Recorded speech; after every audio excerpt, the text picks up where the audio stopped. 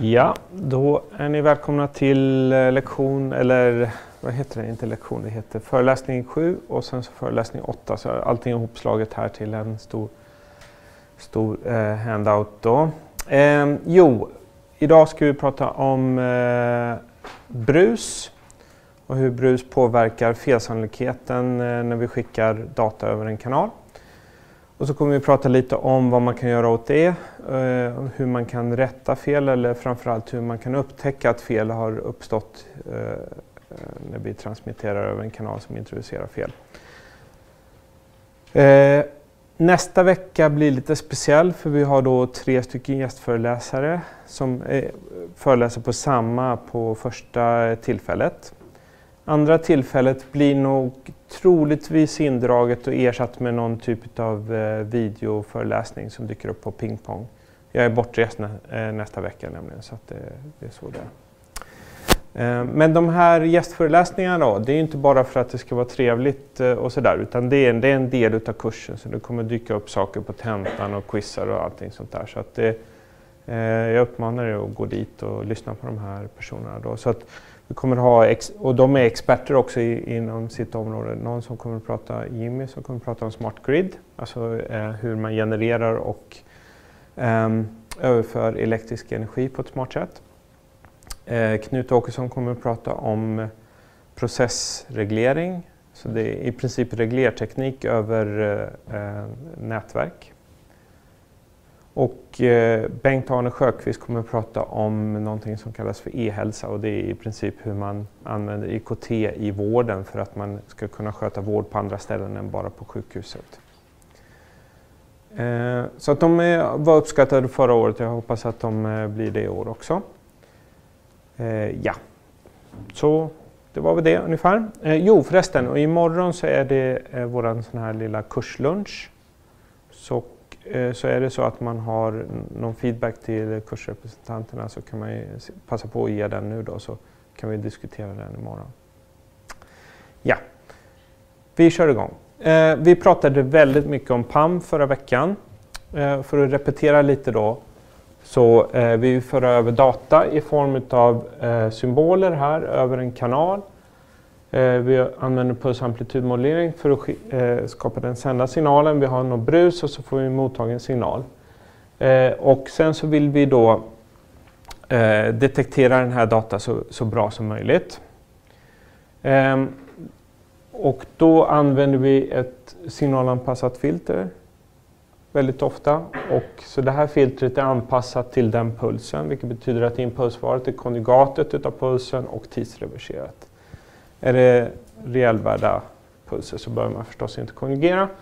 Så får man en utsignal, en kontinuerlig signal här som man samplar. Man samplar den varje stora t-sekund, så man samplar den med symboltakt. Får en diskret sekvens här som vi skalar med ett genom en energin för sändpulsen H. Och så får vi några insignaler till den här eh, boxen här som kallas för en slicer. Och utsignalen här är det element i krull A som är närmast insignalen. Så för varje insignal så jämför man med alla element i, i krull A och så spottas det ut det element i krull A som är närmast insignalen. Så man kan se det som är ungefär som en minsta avståndets A-kodare. Då. Man jämför vad som är på insignalen med alla möjliga alternativ och så tar det som är närmast. Eh, och det är inte så svårt att visa då att om man struntar i bruset här så är det som kommer in här, det är precis AK under förutsättning att man har valt pulsformen smart. Och en smart eh, val av pulsform är att se till att förvaltning av pulsformen med eh, impulsvaret för eh, mottagarfiltret är en skalad Nyquistpuls. Det vill säga att när vi samplar den så får vi bara ett nollsampel, nollskilt sampel och resten är nollsampel. Ja, så det, det pratade vi rätt mycket om förra veckan. Sen pratade vi om, och det här är pulsamplitudmodellering då. Um, och lite implicit här så tänker vi oss att de här pulserna är lågpasspulser, det vill säga att de har sin energi runt 0 Hz. Men det funkar inte för alla kanaler Så ofta så vill man flytta den sända signalens spektrum från att vara centrerad kring 0 Hz till, att vara centrerad kring någon bärfrekvens. Och det gör man med en sån här IQ-modulator. Och med en IQ-modulator så är det i princip två stycken parallella PAM-processer eh, som man skickar. Den ena skickar man med en så det, det, är några symboler som kommer här, det är en pumpprocess och sen så har man en cosinus-bärvåg. Det är ena grenen, den andra grenen är precis samma sak, det är andra symboler visserligen, men samma pulsform och sen så är det en sinus-bärvåg. Och då kan man visa att de här två pump, pumpsignalerna, en som man har där och en som man har där, de har spektrum som ligger centrerat kring eh, bärfrekvensen. Men det som är fint med det här då, det är att de här två signalerna interfererar inte med varandra utan de är ortogonala i den meningen att vi kan skicka dem över en kanal och så kan vi separera dem på mottagaren utan att de eh, är någon eh, eh, interferens mellan de två i den processen. Okej, okay. och det här kan man se också som att den övre delen här är en PAM-modulator där man har bytt ut pulsformen H mot H gånger cosinuskargen och den kan vi då kalla för en ny pulsform, eh, phi i här. Och samma sak, eh, lägre grenen här kan vi se som pulsamplitudmodellering med en annan puls, phi q. Och phi q är minus för det minustecken och kargen här och sen så är det H gånger en sinus, sinuskargen. Och de här två pulserna är ortogonala mot varandra. Eh, det vill säga att tar vi inre produkter med Fi och Q så får vi noll. Så det, det är verkligen ortogonalt mot varandra. Under förutsättningen att bärfrekvensen här är vald så att den är stor. Och stor jämfört med bandbredden hos, eh, hos den här pulsen H. Och det, det, så brukar man ha det i, i, i de flesta systemen. Framförallt så gäller ju det på, på radio när man kanske har en, en eh, en eh, bandbredd på säg 100 eller någon megahertz upp till 100 megahertz kanske och en bärfrekvens som kanske är i ordningen gigahertz eller någonting sånt. Så det är stor skillnad mellan dem.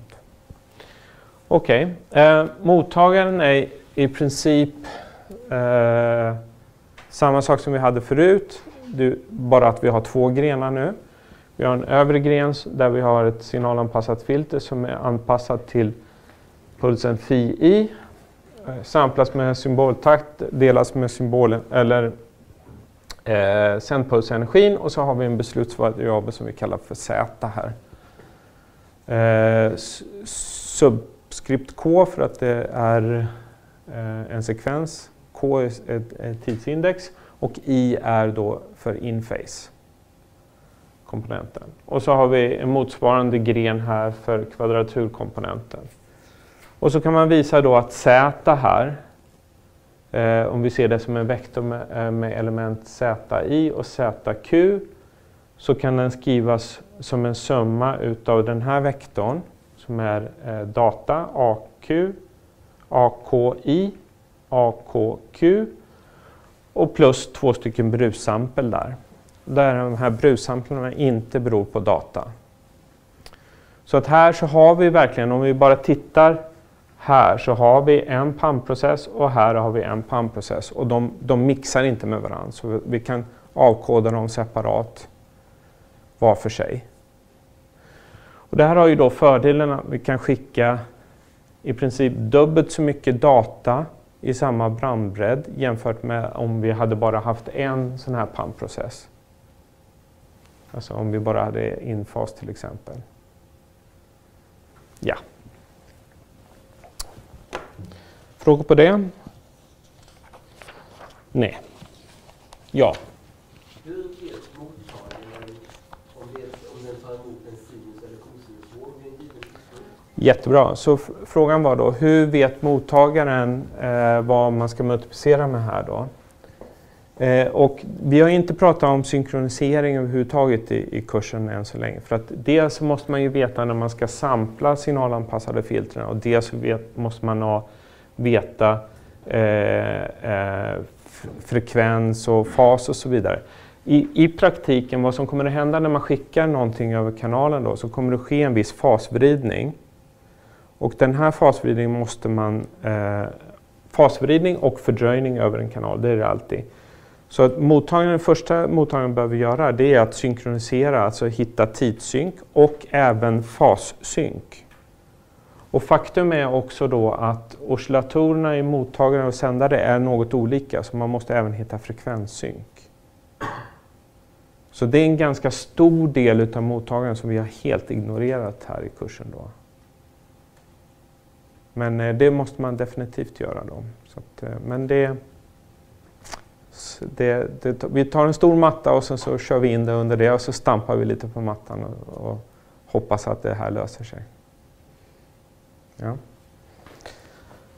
Okej. Okay. Um, men vi fortsätter här lite grann för att um, de här tvådimensionella vektorerna som man har här, det, det, är ju helt korrekt, det är inga problem med det. Så att vi ser att vi har då uh, en konstellation som beror på alfabetet för, för den här uh, symbolen och en som består av den där symbolen. Men ofta så tänker man sig, som man gör ibland när man har tvådimensionella vektorer, att man eh, kan översätta det till komplexa tal och räkna med komplexa tal istället. Och det har vissa fördelar eh, i, i några lägen. Så, så att om man räknar med reella vektorer i tvådimensionella rummet eller komplexa tal Eh, det är mer en smaksak än någonting annat. Och, och, I olika lägen så kan olika saker vara mer eller mindre bekvämt. Men bara för att visa att eh, ibland så pratas det i böcker och i litteraturen om komplexa symboler. Och vad, vad, är det då egentligen? Jo, det är egentligen att man har någonting som är infas och någonting som är kvadraturfas. Och så ser man det här som är realdelen och det där som är imaginärdelen utav en komplex symbol snarare än en vektor utav två reella symboler. Okej. Okay. Um, så om vi bara skriver upp här så har vi då eh, ZKI, alltså insignalen här uppe, är då helt enkelt den sända eh, jag tror jag ska byta till svart, det syns bättre på videon här.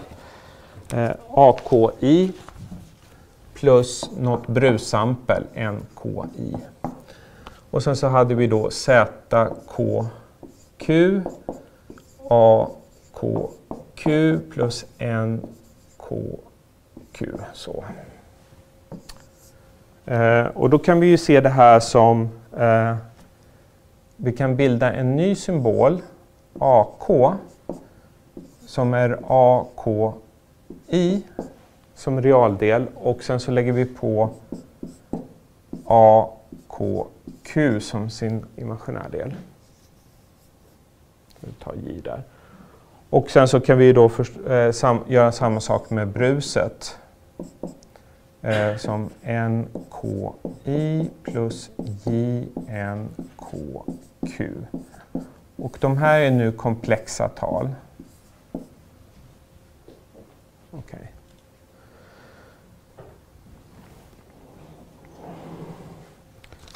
Så om vi har ett litet exempel, om vi säger att AKI är i mängden minus 1, 1 och eh, eh AKQ av någon anledning också i samma alfabet, alltså från minus 1 till 1.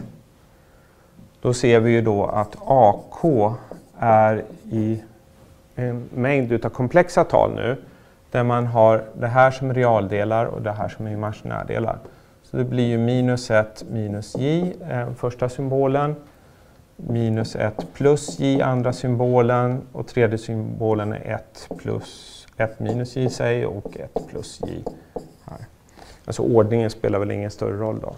Men här så ser vi att då har vi nu fyra komplexa eh, symboler istället för eh, fyra stycken vektorer i tvådimensionella planet. Då. Eh, vilket, eh, och, och, det här på något sätt försvara lite varför vi har ibland eh, envisats med att ha komplexa signaler och, kom, eh, och, komplexa symboler och så vidare. Och det har att göra med att till slut så visade det sig att det var vettigt, eller det var bekvämt att använda en sån här beskrivning. Då. Och skulle vi rita ut, ut det här konstellationen för detta så eh, har vi någon realdel och någon imaginär del. Så realdelen för den komplexa symbolen AK kommer antingen vara plus eller minus 1. Och eh, imaginära delen för AK kommer också vara eh, plus eller minus 1. Och själva symbolerna hamnar då i hörnen här. Så. Så om ni kommer ihåg en PAM-konstellation eh, eh var ju någonting som låg längs en linje, en tallinje. Och här så har vi en, en eh, QAM-symbol, eller kvadratur-amplitudmoduleringssymbol, som lever i ett tvådimensionellt plan.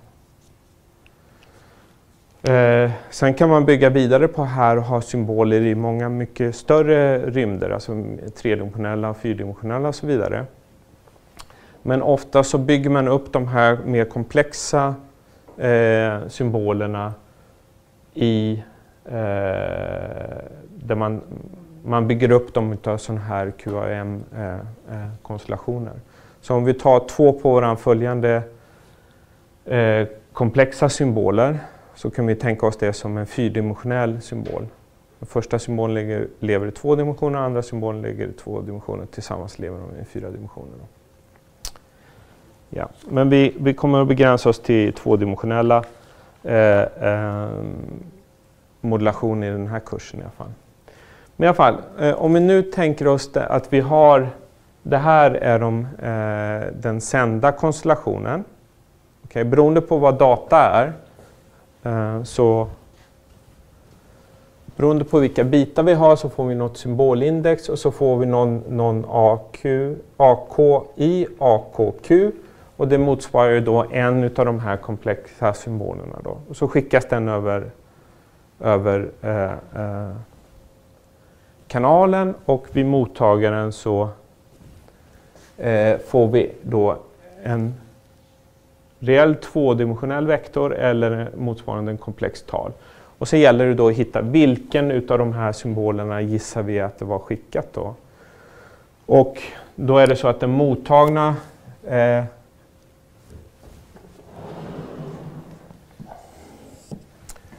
eh, komplexa eh, talet som vi har tagit emot beror ju på den komplexa symbolen skickade plus det komplexa bruset. Så den kommer också att leva här i det komplexa talplanet någonstans. Jag vet inte var den hamnar, men säg att den hamnar här till exempel. Skulle du kunna göra. Och vår uppgift nu då, det är att bestämma vilken symbol är som, skickade, som vi gissar var skickad. Och vilken symbol skulle vi gissa på? Om vi fick det här xet, vilken av de här symbolerna skulle vi gissa på då? Ja, precis. Den som ligger närmast 1 minus j. Så det är precis som förut. Alltså vi letar efter det symbolalternativet som ligger närmast vår observation. För vi vet ju i det brusfria fallet så får vi precis det vi skickade. Så eh, om det var så att det var det här som skickades så var det här brusvektorn, eller brusamplet då. Om det var så att den här skickades så var det det här som var brusamplet. Om det var så att det var den som skickades så var det här som var brusamplet och så vidare. Så vi har fyra alternativ och vilket är det vi tror mest på? Det är det som är frågan. Och brus har den egenskapen då att det, det, det är någonting som oftast är mindre än stort. Alltså det, generellt sett så blir det mer, mer osannolikt att bruset är stort. Så då väljer vi den brusrealisering som är minst helt enkelt. Det är det som är smartast. För det är den som är mest sannolik. Så det är själva grundtanken här. Okej, okay. frågor? Nej? Eh, Okej, okay. och de här beslutsregionerna som vi har nu, i det här fallet när vi hade fyra signalalternativ, är ju de fyra kvadranterna i, i det komplexa talplanet. Eh, får man, har man lite mer komplicerade konstellationer så får man lite andra geometrier. Eh, men eh, sådär, om vi tar till vänster här så har vi 16 QAM. Igen, QAM står för kvadratur amplitud modulering, eller Quadrature Amplitude Modulation. Det är en PAM på det hållet och en PAM på det hållet och så lägger man ihop dem. Um, och I det här fallet så har vi 16 stycken punkter och därför så kallas det här för 16 QAM. Så hur många bitar per symbol är det här? Fyra.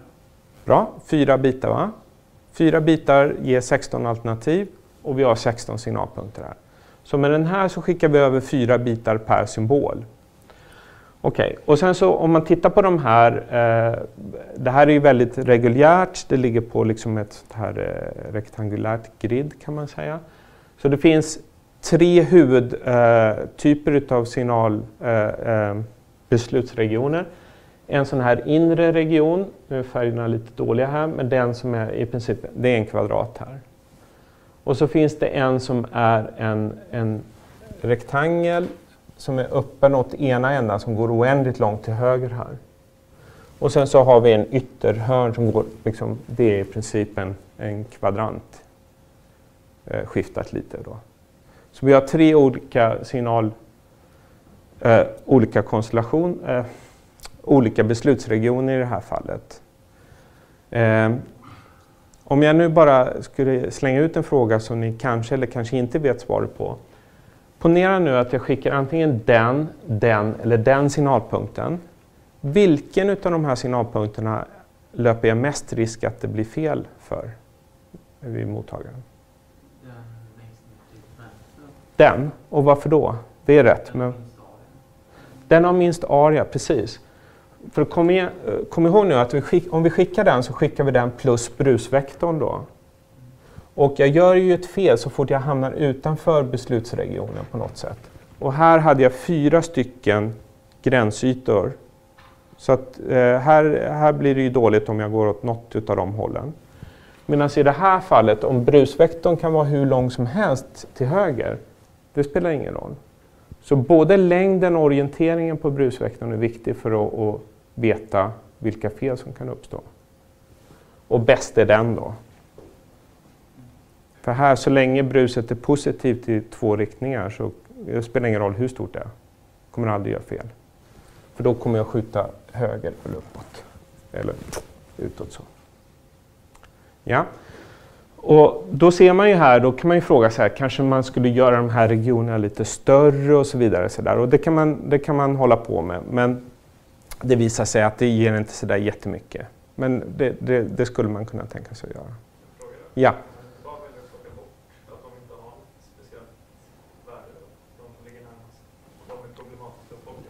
Ja, alltså man kan ju ta bort det så här. Så har man, ju då, man kan ju ta bort de fyra inre punkterna här då. Och då har vi ju bara eh, eh åt, eh, ja, 12 punkter kvar.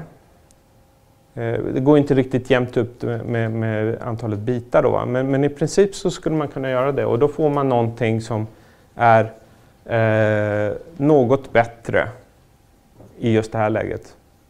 Men faktiskt sämre när man har, börjar ha fler och fler punkter. För att man skulle kunna lägga punkterna på en cirkel till exempel.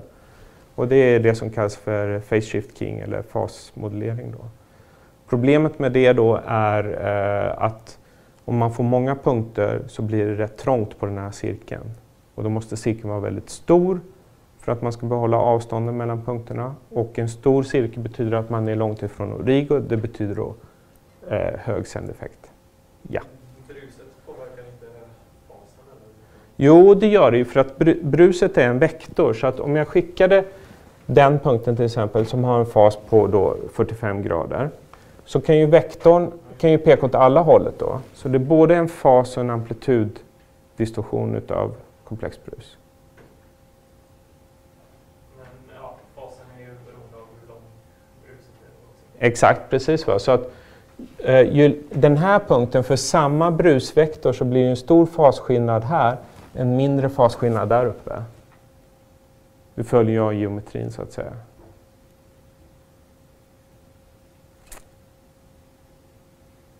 Ja. Mm. ja. Riktningen på brusvektorn. Ja. Borde inte den brusvektorn påverka den reella och den komplexa delen lika mycket? Jo. Det borde bli en skalär som alltid går om man riktar en linje från origo till Aha, okej. Okay, okay. Så frågan här var då, ska brusvektorn, borde inte den peka utåt på något sätt? Nej, det gör den inte för att brusvektorn har ingen, ingen orientering som den gillar. Så att om vi bara tittar på brusvektorn från Origo så är den cirkulärsymmetrisk här. Så att man kan tänka sig som en cirkel eller som en, bo en boll eller ett moln som är centrerat i mitten här. Och flytta ut det på den punkten här så blir molnet runt den punkten. Så det finns ingen, ingen riktning hos bruset. Den bryr sig inte om vilken signal som skickades helt enkelt.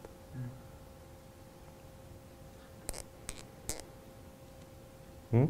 Jättebra frågor. Så att eh, det här med de här geometrierna, mycket kan man lära sig från geometrierna här. Liksom, är det här en bra konstellation, är det en dålig konstellation, vad kommer vi kunna få för problem och så vidare. Man kan titta hur många punkter det här, kan man räkna ut hur många bitar man skickar per symbol och så vidare. Så, och det har ju med, med spektraleffektiviteten att göra som ni kommer ihåg.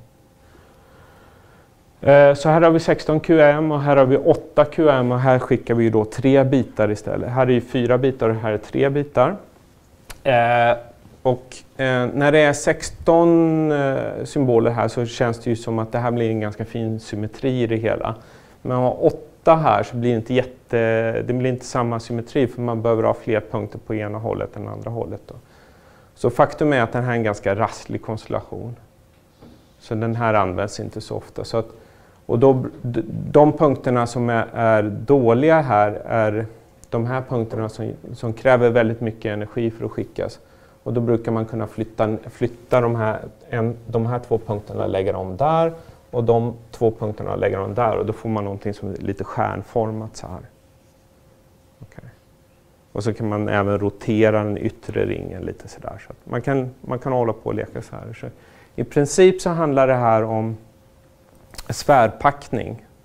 Om, ni vet, om, man, om man tänker sig att man har bollar och de här bollarna vill, vill, man liksom lägga mönster på så att de är, som, så, att de är så kompakta runt, runt Origo som möjligt. Så det är det som man ägnar sig åt. Eh, och det är ganska enkelt i två dimensioner, ganska jobbigt i tusen dimensioner. Och ofta så vill man vara i tusen dimensioner när man sen så småningom. Det är mycket, ja, man kan säga mycket om svärpackning men det är ganska coolt faktiskt. Men okej, okay. vi släpper det. Um, så att, uh, nu har vi lite intuition för vad som kan hända här då. Vi, vi vill alltså separera punkterna för att vara robust mot brus. Vi vill vara närma Origo för då har vi låg energi som vi skickar. Då sparar vi på sändeffekt. Eh, så att men nu skulle vi vilja ha lite siffror. Vi skulle kunna vilja säga liksom, vad är felsannolikheten? Vi skulle vilja ha metoder för att beräkna det här. För att se liksom, hur ska vi välja de här konstellationerna. Vad kostar det i energi till exempel för att få en viss eh, prestanda när man väljer olika konstellationer. För att kunna välja konstellationer på ett smart sätt. För att, ni kommer ihåg att vi pratade om det här med spektral effektivitet som var bittakt över bandbredd. Okay. Och bittakten beror ju på hur många bitar man skickar per symbol och hur ofta man skickar symboler. Och hur ofta man kan skicka symboler beror på vilken bandbredd man hade. Det var Nyquist-kriteriet. Så nu går vi och tittar så här, liksom, hur många bitar kan vi klämma över per symbol? Finns det någon gräns för det? Och det finns det ju förstås. Då. Okej, eh, okay. och för att göra det här så måste man ju då ta, nu ta en liten eh, repetitionsrunda genom, eh, i, i stokastiska variabler också för att vi beräknar vi beräknar felsannolikheter här. Och ni har väl haft en kurs i stokastiska variabler antar jag? Ja. Stokastiska processer, har ni pratat något om det? Nej.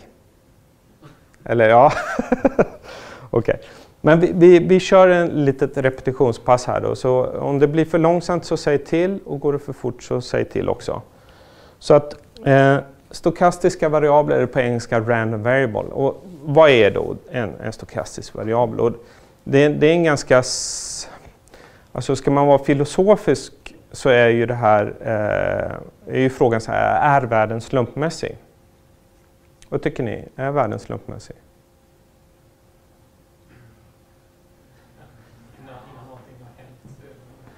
Ja. Ja, men det, precis. Man, vi har problem att mäta. Men annars om man, tänkte, om man tänker sig på Newtons tid, va? Newtons rörelselagar och sånt där. Då, det, det finns lite diffekvationer, så vet man initialtillståndet hos ett system så kan man ju prediktera hur allting kommer att röra sig då. Eller hur? Det finns ingen slumpmässighet i det här då. Så är det så att vi kunde beskriva universums tillstånd, alltså alla partiklars position och deras eh, vad heter det, ja, eh, position och eh, hastighetsvektor, då skulle vi i princip kunna prediktera eh, vad som kommer att hända fram till universums slut, inklusive det som vi håller på att göra vi tillsammans just nu, om fem minuter. I princip. Va? Eh, så det, det, var ju en tanke som man hade innan kvantmekaniken, då, att, att det liksom, saker och ting var deterministiskt. Visste man bara initialtillståndet och rätt diffekvationer och kunde lösa dem så kunde man ju liksom beräkna vad som kommer hända. Då. Men det där känns ju lite skakigt. Så här, liksom. Kan vi verkligen prediktera människors till exempel handlande i framtiden bara utifrån eh, Newtons mekanik eller någonting sånt där? Det känns ju inte riktigt rimligt då. Eh, så att om världen är slumpmässig eller inte, det kan man tvista om rätt mycket, eh, vad det egentligen är fundamentalt. Men det verkar som att på kvantnivå eh, så finns det någonting som är slumpmässigt.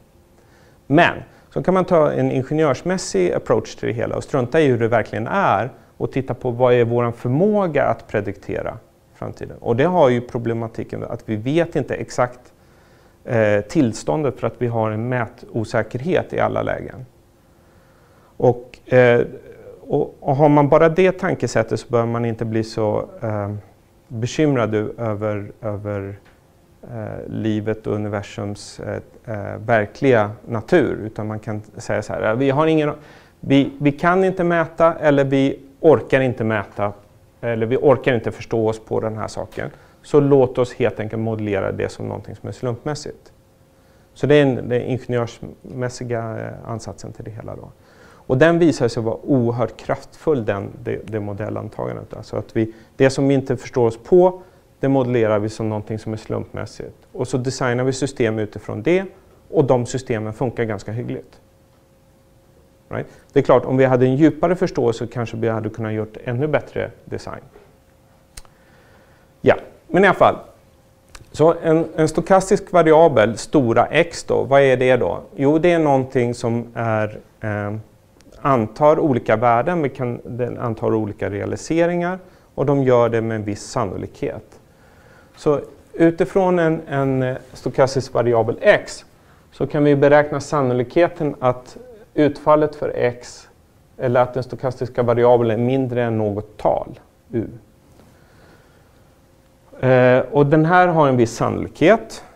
Och om vi då varierar u så är eh, höger ledet här någonting som varierar med u, så vi kan se det som en funktion av u. Och det är det som vi kallar för den eh, på engelska cumulative distribution function och på svenska heter det fördelningsfunktion, tror jag det heter. Ja? Mm, just det, så är det. Eh, och har man en funktion kan man ju alltid, eller ja, man kan man ju roa sig med att derivera den. Ja, och så, då gör vi det och då får vi någonting som kallas för, på svenska för täthetsfunktion eller på engelska probability density function. Och för att få tillbaka det här så kan man ju då integrera den här. Man deriverar och integrerar lite fram och tillbaka, lite beroende på vad man vill åstadkomma då.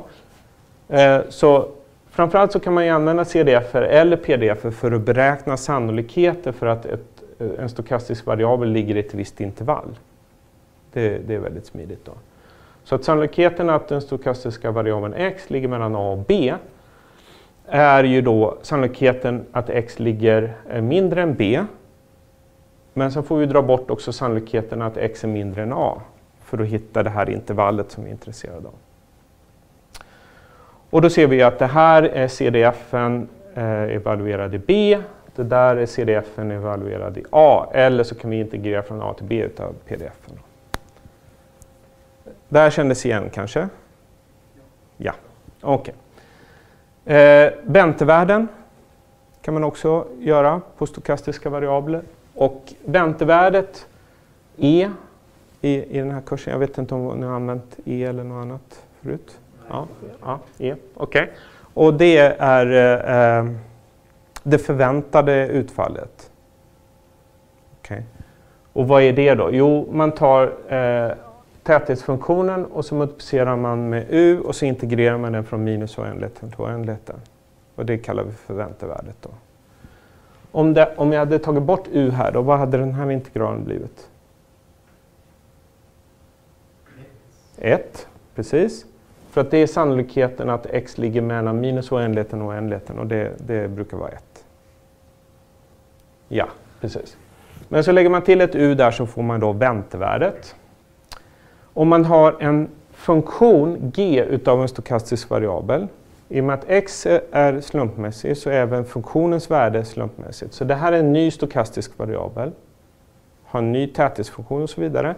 Men är jag bara intresserad av att beräkna väntevärdet utav den här så kan jag beräkna väntevärdet utav en funktion utav x utifrån pdf-en för x genom att bara sätta in funktionen framför eh, pdf-en i integralen. Okej. Okay. köper vi det här så kan vi beräkna någonting som kallas för andra moment. Och vad är det? Jo, det är väntevärdet utav den stokastiska variabeln i kvadrat. Och då sätter vi bara in u kvadrat här istället för u. x u, x kvadrat, u kvadrat. Och variansen. Och vad är variansen då? Jo, variansen är det förväntade kvadratiska avvikelsen av x från sitt medelvärde. Okay. Så det här kan man se som eh, den förväntade spridningen kring medelvärdet, fast det är ett kvadratiskt mått. Standardavvikelsen får vi genom att ta roten ur den här. Okej, okay, men vi kan, det här är ju bara om man bara tittar på det här som ett väntevärde så ser vi här att här har vi någon funktion av x. Så den är ju bara att stoppa in i det här för att räkna ut väntevärdet. Och så råkar det vara ett väntevärde som del av den funktionen, men det, det är väl okej. Okay. Så kan det vara. Så det är varians. Känns det igen? Ja, okej. Okay. Bra, men då är vi ju nästan hemma. Eh, den vanligaste stokastiska variabeln är den gaussiska variabeln, eller normalfördelade variabeln. Ehm, jag berättar en liten historia. När man, man hade sådana här miniräknare förr i tiden som man kunde dra slumpmässiga variabler för. Alltså det fanns en, en, en eh, slumptalsgenerator i den. Och så var manualen till den här var ju maskinöversatt på något sätt eller översatt av någon som inte förstod sig på matematik. Så att man kunde få då gaussiska variabler genom att trycka på en knapp där. Och då stod det i manualen att man kunde få eh, eh vanliga stokastiska variabler. Norm normal. Det var lite kul faktiskt. Vanliga stokastiska variabler, jag skulle vilja veta vad det är. Ah, hur som helst, eh, Gauss-variabler dyker upp i många, många sammanhang, så det, det, här behöver man ha kläm på. Vi kommer att modellera bruset som gaussiskt. Eh, och vi kommer att använda följarnotation, x, och sen här, så här, ja, jag vet inte vad den kan kallas för. Någon typ av konstig mustasch. Men hur som helst, eh, det, betyder, det här betyder x fördelat som, och här kommer fördelningen då. Och eh, krull n för normalfördelning. Och sen så är det medelvärde och varians. Okay. Och här ska man vara, vara, medveten om att i litteraturen så står det ibland medelvärde och standardavvikelse. Okay, så man får vara lite, lite försiktig med den här notationen då. Men det är den, här, den här är mest vanlig, så vi kommer att använda den. Så medelvärde och varians. Och det här, om, om vi, har, vi skriver det här uttrycket, vad det egentligen betyder då, det är att täthetsfunktionen för x är den här Gauss-klockan. Och medelvärdet för x är my och standardavvikelsen är sigma. Och man ser att my och sigma dyker upp här, sigma och my dyker upp i den. Och det här har ni kanske hört till leda då. Men en, en normalfördelad stokastisk variabel parametriseras av två tal, sitt medelvärde och varians. Det är allt vi behöver veta för att, veta pdf för en eh, Gauss-variabel. Okay. Eh, Gauss-variabler är lite speciella, eh, har många roliga egenskaper. Eh, den här egenskapen är kanske inte väldigt speciell för Gauss-variabeln, men säg att vi har en Gauss-variabel med medelvärde my och varians sigma kvadrat. Om vi bildar en ny stokastisk variabel genom att ta x och multiplicera med a och addera b vad händer då? Och då händer någonting med medelvärdet och någonting med variansen. Det är ju rimligt att anta då. Eh, och tar vi bara väntevärdet på det här så ser vi då att vi får A eh, gånger medelvärdet för x som var my, a y my och så adderar vi b. Så medelvärdet blir a my plus b. Okay. Variansen, eh, kanske något överraskande, beror inte alls på b överhuvudtaget. Utan den beror bara på a. Så variansen är a kvadrat gånger sigma kvadrat. Eh, och det är inte, egentligen inte så konstigt då för att eh, variansen är ju avvikelsen kring medlet. Och b justerar vi medlet, men det justerar inte spridningen kring medlet. Utan det sker med den här skalningstermen istället. Och ett nybörjarmisstag är att tro att eh, variansen skalas med a, men den ska skalas med a kvadrat. Standardavvikelsen skalas med absolutbeloppet utav a, men, men variansen med a kvadrat. Och det, är inte, det här är inte jättesvårt att visa i, rent matematiskt, då, men man ska inte hålla på och börja integrera pdf när man har sånt här. Här ska man bara veta. då. Okej, okay. och en sak som kommer visa sig väldigt smidigt då, det är att om vi har x som är normalfördelat med medelvärde my och varians sigma kvadrat. Om vi då tar x och drar ifrån medelvärdet och delar med standardavvikelsen, inte med variansen, då får vi en standard gaussisk variabel, det vill säga en variabel som har medelvärde 0 och varians 1. Och även standardavvikelse 1 då, för att roten är 1 är 1. Ja. Eh, Eh, så att om man räknar sannolikhetsuttryck från x så kan man eh, transformera de sannolikhetsuttrycken med hjälp av my och sigma i, i sannolikhetsuttryck som är beroende på en normaliserad eh, Gauss-variabel och sådana finns det tabeller för. Så det är ju smidigt. Ja, känns igen också kanske?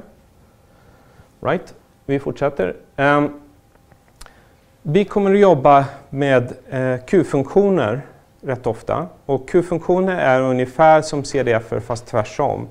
Här räknar, beräknar vi sannolikheten att en stokastisk variabel, en Gauss-variabel överstiger ett värde, inte att det är mindre än ett värde.